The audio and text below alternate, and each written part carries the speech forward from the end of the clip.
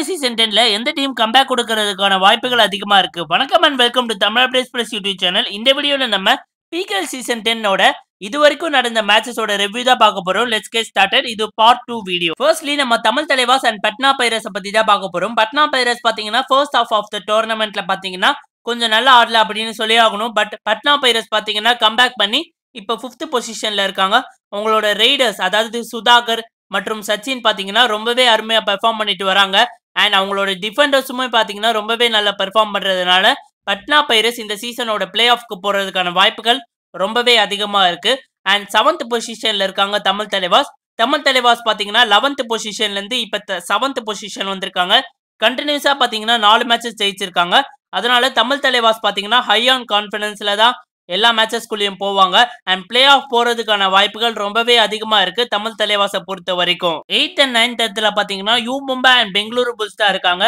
You Mumba பாத்தீங்கன்னா first half of த சீசன்ல perform பண்ண அளவுக்கு செகண்ட் ஹாஃப்ல பாத்தீங்கன்னா பெர்ஃபார்ம் பண்ணல.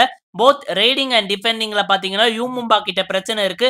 அந்த பிரச்சனையை தீக்கிற வரைக்கும் பாத்தீங்கன்னா யூ மும்பாவால ஜெயிக்கிறதுக்கான வாய்ப்புகள் ரொம்பவே கம்மியா தான் இருக்கு. நைன்த் இடத்துல பார்த்தீங்கன்னா பெங்களூரு புல்ஸ். பெங்களூரு புல்ஸ் பார்த்தீங்கன்னா ஒரு சாலிடான டீமாகவே திகழ்ந்தாங்க ஃபர்ஸ்ட் ஆஃப் ஆஃப் த சீசனில் பட் செகண்ட் ஹாஃப்ல பார்த்தீங்கன்னா அவங்களோட ரைடர்ஸ் பார்த்தீங்கன்னா பாயிண்ட்ஸ் எடுக்கவே இல்லை. அதனால பெங்களூரு புல்ஸ் பார்த்தீங்கன்னா நிறைய மேட்சஸ்ல ஸ்ட்ரகிள் பண்ணிட்டு வராங்க.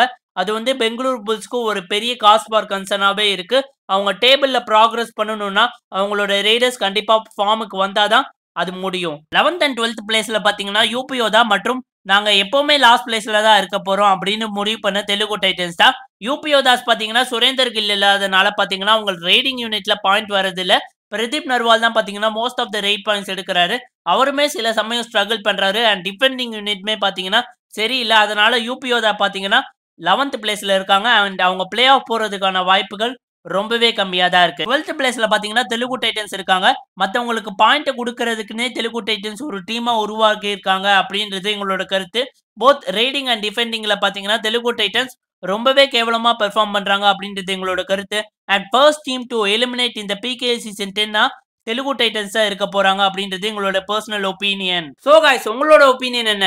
நான் சொன்ன ஆறு டீம்ல இருந்து டீம் பிளே ஆஃப் போறதுக்கான வாய்ப்புகள் அதிகமா இருக்கு அப்படின்றத மறக்காம கமெண்ட் பாக்ஸ்ல கமெண்ட் பண்ணுங்க. இந்த வீடியோ பிடிச்சிருந்தா லைக் அண்ட் ஷேர் பண்ணுங்க. And more importantly Tamil updates plus YouTube சேனலுக்கு மறக்காம சப்ஸ்கிரைப் பண்ணுங்க நண்பா.